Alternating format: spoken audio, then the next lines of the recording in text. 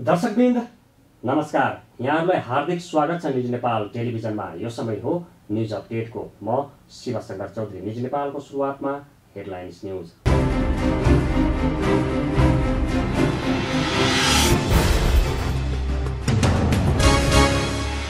नेपालमा कोरोनाका कारण थप एघारजनाको मृत्यु मृत्यु हुनेको सङ्ख्या एक सय सैँतिस पुग्यो। चौबिस घन्टामा आठ सय अडतिस जनामा कोरोना सङ्क्रमण पुष्टि। यो सँगै सङ्क्रमितको सङ्ख्या तिस हजार चार सय तिरासी।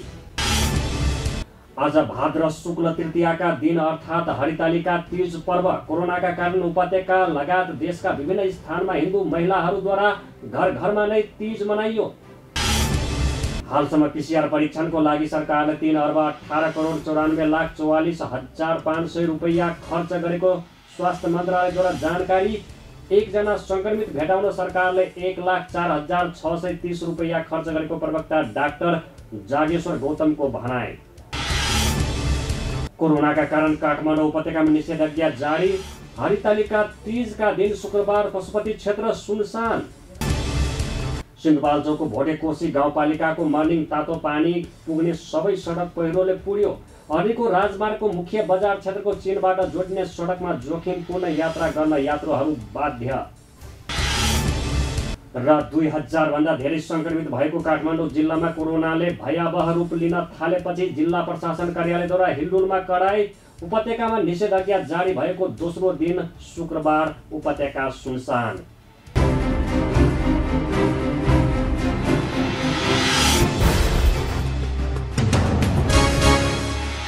अब न्युज विस्तारमा। नेपालमा थप आठ सय अडतिस जनामा कोरोना सङ्क्रमण थपिएका छन्। देशका विभिन्न स्थानमा रहेका प्रयोगशालामा गरिएको परीक्षणका क्रममा दुई सय बयानब्बे महिला र पाँच सय छयालिस गरी थप आठ सय अडतिस जनामा कोरोना सङ्क्रमण पुष्टि भएको स्वास्थ्य मन्त्रालयका प्रवक्ता डाक्टर जागेश्वर गौतमले जानकारी दिनुभयो। सङ्क्रमितमा काठमाडौँमा एक सय बयालिस ललितपुरमा पच्चिस र भक्तपुरमा पन्ध्रजना रहेका छन्। शुक्रबार थप दुई सय पचासजना डिस्चार्ज भएका छन् भने हालसम्म आठ हजार दुई सय चौधजना डिस्चार्ज भएको मन्त्रालयका प्रवक्ता गौतमले बताउनुभयो। त्यस्तै कोरोनाका कारण थप एघारजनाको मृत्यु भएको छ। मृत्यु हुनेको सङ्ख्या एक सय सैँतिस पुगेको छ। मोरङ वर्षा बारा सप्तरी सर्लाही काठमाडौँ ललितपुर चितवन मकवानपुर दोलखा र प्युठानका कोरोना सङ्क्रमितको मृत्यु भएको प्रवक्ता गौतमले जानकारी दिनुभयो। क्वारेन्टाइनमा रहनुभएका व्यक्तिहरूको सङ्ख्या बाह्र हजार दुई सय चौतिस रहेको छ। कोभिड नाइन्टिनबाट सङ्क्रमण मुक्त भई गत चौबिस घन्टामा डिस्चार्ज हुनुहुनेहरूमा जम्मा दुई सय पचासजना हुनुहुन्छ र आजसम्म डिस्चार्ज हुनुहुने अठार हजार दुई सय चौध हुनुहुन्छ। अनुसार रियल टाइम पिसिआर पोजिटिभ परीक्षणको नतिजा यस प्रकार रहेको छ। प्रदेश एकमा इलाममा चारजना उदयपुरमा दुईजना झापामा सातजना ताप्लेजुङमा एकजना पाँच थरमा एकजना मोरङमा पैँतालिसजना र सुनसरीमा उनातिसजना प्रदेश दुईमा धनुषामा तिनजना पर्सामा अस्सीजना बाह्रमा चालिसजना रौतहटमा एघार सप्तरीमा पाँचजना सर्लाहीमा चौबिसजना र सिराहामा सोह्रजना हुनुहुन्छ। यसै गरी बागमती प्रदेशमा काठमाडौँ एक सय बयालिस चितौन तेइस दोलखा एक धादिङ एक नुवाकोट दुई भक्तपुर पन्ध्र मकवानपुर बत्तिस रसुवा एक ललितपुर पच्चिस सिन्धुली आठ। र गण्डकी प्रदेशमा कास्कीमा एक नवलपरासी पूर्वमा उन्नाइस पर्वतमा एक मनाङमा दुई बागलुङमा तिन स्याङ्जामा एक। यसै गरी प्रदेश पाँचमा अर्घाखाँचीमा एक कपिलवस्तुमा दुई गुल्मीमा एक दाङमा चार पाल्पामा एक प्युठानमा छ बर्दियामा छ बाँकेमा बिस रूपन्देहीमा सत्र र रोल्पामा एकजना हुनुहुन्छ। यसै गरी कर्णाली प्रदेशमा कालीकोटमा एक जुम्लामा त्रिपन्न दैलेखमा एक रुकुम पश्चिममा तिन हुनुहुन्छ। सुदूरपश्चिम प्रदेशमा अछाममा अडतिस कञ्चनपुरमा चौध कैलालीमा पचासी डडेलधुरामा दुई डोटीमा चौतिस र बैतडीमा तिन गरी जम्मा दुई सय बयानब्बे महिला र पाँच सय छयालिस पुरुष गरी आठ सय अडतिसजना व्यक्ति सङ्क्रमित भेटिनु भएको छ एकजना महिला र दसजना पुरुषको निधन भएको छ। निधन हुनेहरूमा मोरङ पर्सा बारा सप्तरी सर्लाही काठमाडौँ ललितपुर चितवन मकवानपुर दोलखा र प्युठान गरी जम्मा एघार जिल्लामा एघारजनाको मृत्यु भएको छ। यो सँगै सङ्क्रमितको सङ्ख्या तिस हजार चार सय तिरासी पुगेको छ। जसमध्ये हाल सक्रिय सङ्क्रमितको सङ्ख्या बाह्र हजार एक सय बत्तिसजना रहेका छन् भने क्वारेन्टाइनमा बाह्र हजार दुई सय चौतिसजना रहेका छन्। हिन्दू महिलाहरूले शुक्रबार घर घरमा बसेरै नै हरितालिका तीज पर्व मनाएका छन्।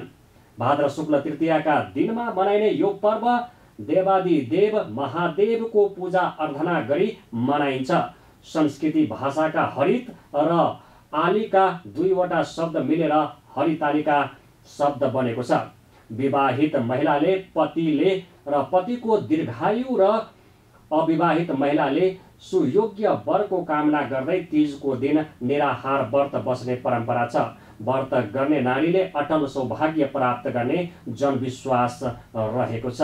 भाद्र शुक्ल तृतीयामा व्रत बसी शिव पार्वतीको पूजा उपासना गरेमा सुख शान्ति र कल्याण प्राप्ति हुने धार्मिक विश्वास छ।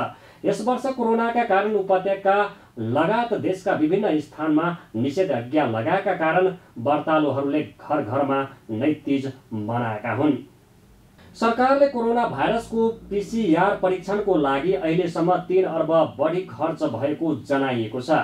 शुक्रबार आयोजित पत्रकार सम्मेलनमा स्वास्थ्य मन्त्रालयका प्रवक्ता डाक्टर जागेश्वर गौतमले हालसम्म पिसिआर परीक्षणको लागि सरकारले तिन अर्ब अठार करोड चौरानब्बे लाख चौवालिस हजार पाँच सय रुपियाँ खर्च गरेको जानकारी दिनुभयो। हालसम्म पाँच लाख उनासी हजार आठ सय उनासय जनाको पिसिआर परीक्षण भएको उहाँले बताउनुभयो। प्रवक्ता गौतमले एकजना सङ्क्रमित भेटाउन सरकारले एक लाख चार हजार छ सय तिस रुपियाँ खर्च गरेको पनि बताउनुभयो। प्रवक्ताका र प्रवक्ता गौतमले एक हजार जनाको पिसिआर परीक्षण गर्नको लागि पिपी सेट बाहेक प्रयोगशालामा मात्रै पाँच हजार पाँच सय रुपियाँ खर्च हुने जानकारी दिनुभयो। यस्तै आइसियुमा राखेर उपचार गर्दा झनै बढी खर्च हुने उहाँले बताउनुभयो। जम्मा टेस्ट पाँच लाख उना असी हजार आठ सय उनान्सय भएको छ र यसमा नेपाल सरकारको पाँच हजार पाँच सय रुपियाँ खर्च हुन्छ र यो खर्च पिपी बाहेक ल्याब टेस्टमा मात्र तिन अरब अठार करोड चौरानब्बे लाख चौवालिस हजार पाँच सय खर्च भएको छ। यति पैसा खर्च गरिकन टेस्ट गर्दा जम्मा तिस हजार चार सय त्रियासीजना व्यक्ति पोजिटिभ देखिनु भएको छ।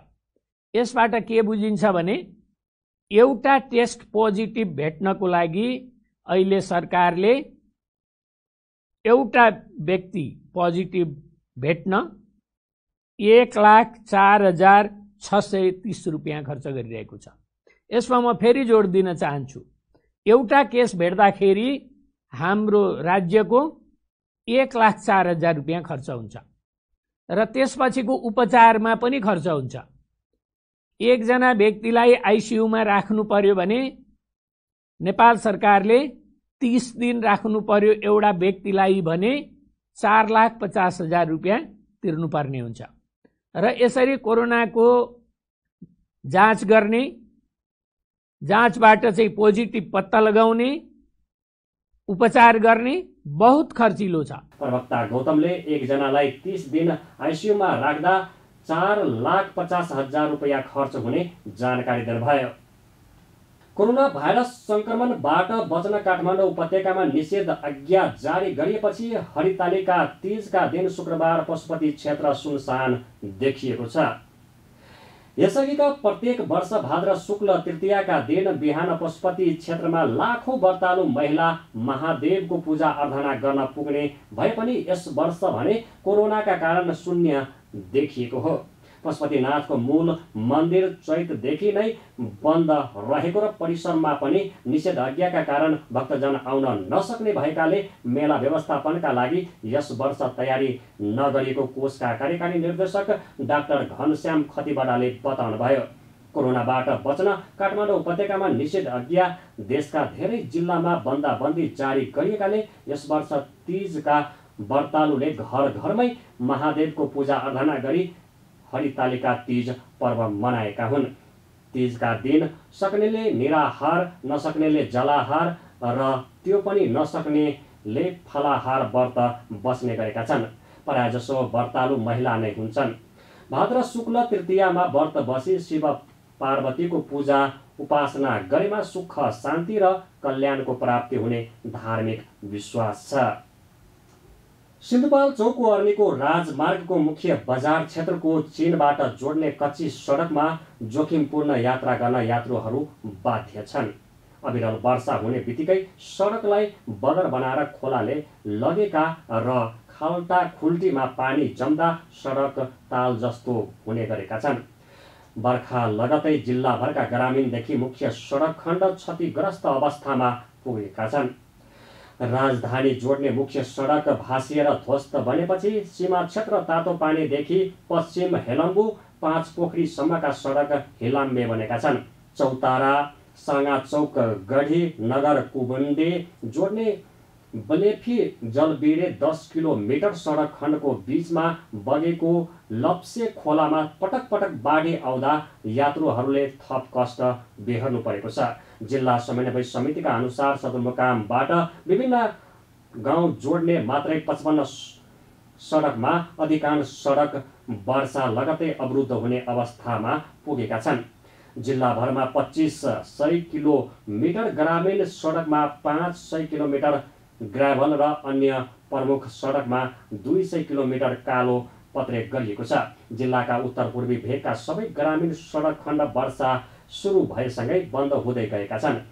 भोटेकोशी गाउँपालिकाको मर्निङ तातो पानी लिस्तीकोट फुलपिङ कट्टीका गाउँमा पुग्ने सबै सडक वर्षासँगै पहिरोले पुरिएका छन्। काठमाडौँ उपत्यकामा निषेधाज्ञा जारी भएको दोस्रो दिन शुक्रबार पनि उपत्यका सुनसान देखिएको छ। कार्यालय समय बाहेक अन्य समयमा सडक शून्य छ। सडकमा अत्यावश्यक काम खद्यान बोक्ने सवारी र एम्बुलेन्स मात्रै गुडेका छन्। निषेधाज्ञा लागू गराउन ठाउँ ठाउँमा सुरक्षाकर्मी तैनात छन्। एक सप्ताहका लागि गरिएको निषेधाज्ञामा सडकमा तैनात प्रहरी बढाइएको छ। निषेधाज्ञा उल्लङ्घन गर्नेलाई प्रहरीले होल्डमा राख्ने गरेको छ। दुई हजारभन्दा धेरै सङ्क्रमित भएको एक मात्रै जिल्ला काठमाडौँमा कोरोनाले भयावह रूप लिन थालेपछि जिल्ला प्रशासन कार्यालयले कडा कदम चालेको हो। प्रशासनले अति आवश्यक काम बाहेक घर बाहिर निस्किए कारवाही गर्ने जनाइएको छ। हामी न्युज अपडेटको अन्तमा आइपुगेका छौँ। जाँदा जाँदै हेडलाइन्स न्युज पुनः एकपटक।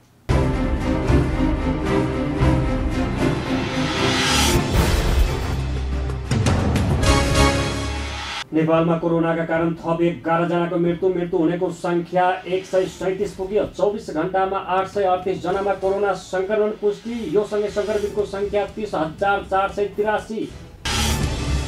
आज भाद्र शुक्ल तृतीयाका दिन अर्थात् हरितालिका तीज पर्व। कोरोनाका कारण उपत्यका लगायत देशका विभिन्न स्थानमा हिन्दू महिलाहरूद्वारा घर घरमा नै तीज मनाइयो। हालसम्म पिसिआर परीक्षणको लागि सरकारले तिन अर्ब अठार करोड चौरानब्बे लाख चौवालिस हजार पाँच सय रुपियाँ खर्च गरेको स्वास्थ्य मन्त्रालयद्वारा जानकारी। एकजना सङ्क्रमित भेटाउन सरकारले एक लाख चार हजार छ सय तिस रुपियाँ खर्च गरेको प्रवक्ता डाक्टर जागेश्वर गौतमको भनाए कोरोनाका कारण काठमाडौँ उपत्यकामा निषेधाज्ञा जारी। हरितालिका तिजका दिन शुक्रबार पशुपति क्षेत्र सुनसान। सिन्धुपाल्चोकको भोटे कोशी गाउँपालिकाको मर्निङ तातो पानी पुग्ने सबै सडक पहिरोले पुग्यो अनिको राजमार्गको मुख्य बजार क्षेत्रको चीनबाट जोड्ने सडकमा जोखिमपूर्ण यात्रा गर्न यात्रुहरू बाध्य। र दुई हजारभन्दा धेरै सङ्क्रमित भएको काठमाडौँ जिल्लामा कोरोनाले भयावह रूप लिन थालेपछि जिल्ला प्रशासन कार्यालयद्वारा हिल्डुलमा कडाई उपत्यकामा निषेधाज्ञा जारी भएको दोस्रो दिन शुक्रबार उपत्यका सुनसान।